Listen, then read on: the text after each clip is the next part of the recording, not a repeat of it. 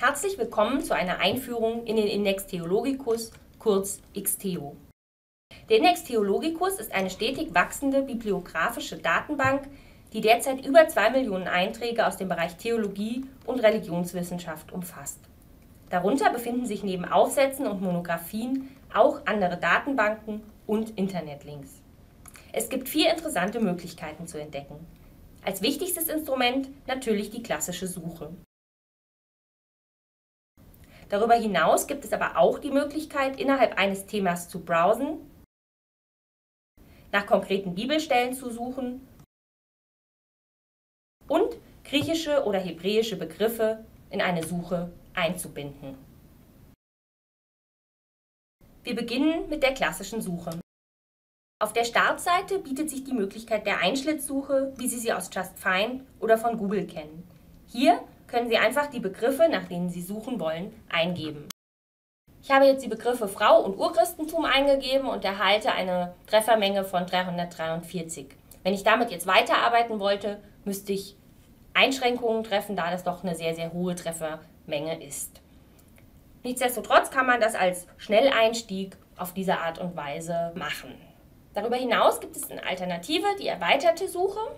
Dort habe ich die Möglichkeit, meine Suchbegriffe in verschiedene Suchfelder einzugeben. Ich könnte jetzt hier oben also Frau in dem ersten ähm, Suchfeld stehen lassen und kann dann mit einem weiteren Suchfeld das Urchristentum ergänzen und auch noch ein Suchfeld hinzufügen.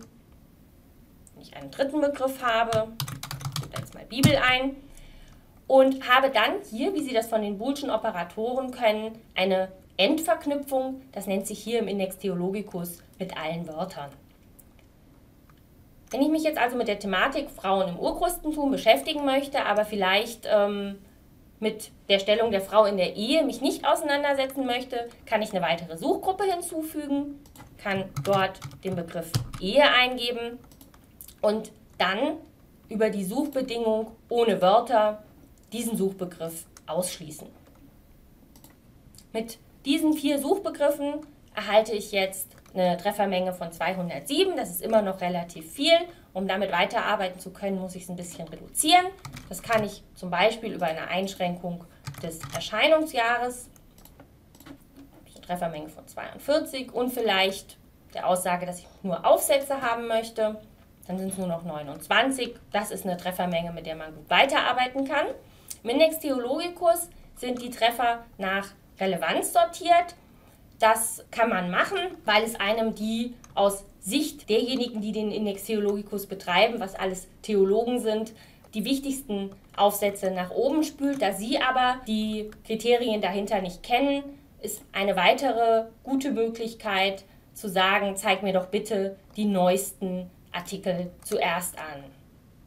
Das wäre dann jetzt in diesem Fall ein Artikel aus dem Jahr 2017.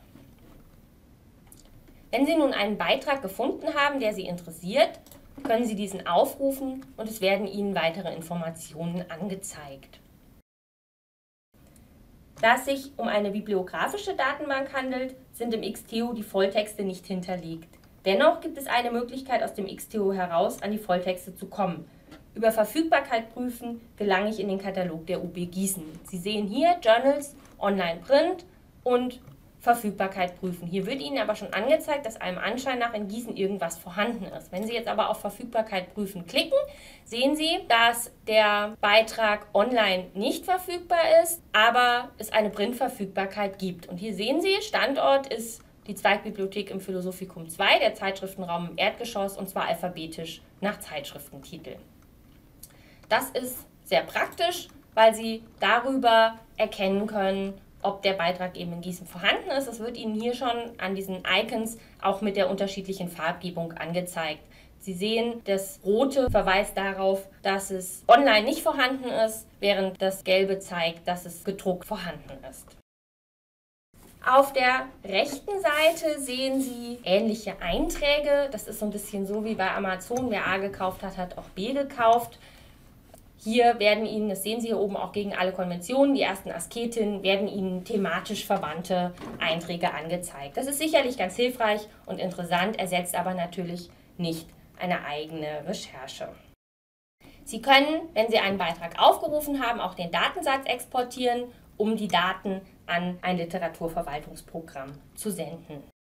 Außer ganz konkret zu suchen, kann man auch innerhalb eines Themas browsen. Dazu können Sie hier auf Browsen klicken, Thema Browsen auswählen und ein Thema eingeben. Ich wähle hier Tierethik, gehe auf Suchen und bekomme nun Treffer angezeigt, sogar relativ viele, die meinen Begriff der Tierethik mit Begrifflichkeiten verbinden, die einen Aspekt des Themas darstellen. Also hier habe ich Tierethik im Vergleich zu Agrarproduktion oder Tierethik und der Psalm 36, Tierethik und die evangelische Soziallehre. Sie sehen also, es werden zu der von Ihnen gewählten Thematik verschiedene Aspekte angezeigt. Das kann insbesondere dann hilfreich sein, wenn man mit einem Thema noch nicht so intensiv vertraut ist und noch dabei ist, einzuordnen, mit welchen einzelnen Aspekten dieser Thematik man sich beschäftigen möchte. Außerdem gibt es eine virtuelle Tastatur, die es Ihnen ermöglicht, nach griechischen oder hebräischen Begriffen zu suchen. Dazu klicken Sie hier auf virtuelle Tastatur, wählen beispielsweise Griechisch aus und können jetzt mit den Buchstaben des griechischen Alphabets einen Begriff eingeben.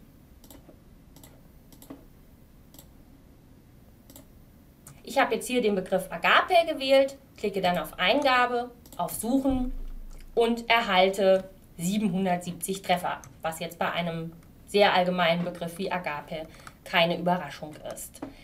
Sie sehen aber, dass ähm, Ihnen eben diese Datenbank eine Begrifflichkeitssuche anbietet, die eben Griechisch und auch Hebräisch abbildet. Die hebräische Tastatur ist ein bisschen unkomfortabler, funktioniert aber auch ganz wunderbar. Zu guter Letzt zeige ich Ihnen noch die Bibelstellensuche. Indem Sie hier in dem Dropdown-Menü Bibelstellen auswählen und dann im Suchschlitz eine Bibelstelle eingeben, können Sie konkret nach einzelnen Bibelstellen suchen. Ich habe hier jetzt Galater 3, 28 bis 29 eingegeben, eine sehr prominente Bibelstelle, weshalb wir auch eine Treffermenge von 1346 erhalten. Das Interessante an dieser Bibelstellensuche ist, dass anders als wenn Sie das in eine andere Datenbank eingeben würden, nicht nur geschaut wird, ob das irgendwie im Titel enthalten ist, diese Bibelstelle, sondern der Index Theologicus über eine Schlagwortvergabe für ähm, Bibelstellen verfügt. Für die Bibelstellensuche gibt es auf der Startseite eine Erläuterung, eine Erklärung, worauf man gesondert achten sollte.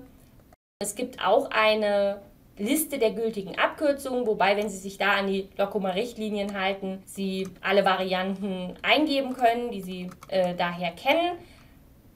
Ansonsten gibt es hier, wie gesagt, noch ähm, weitere Erklärungen dazu, wie man die Bibelstellensuche verfeinern kann. Wie Sie gesehen haben, handelt es sich beim Index Theologicus um eine für das Theologiestudium sehr nützliche Datenbank, da Sie hier ganz fachspezifisch Literatur suchen und vor allem finden können.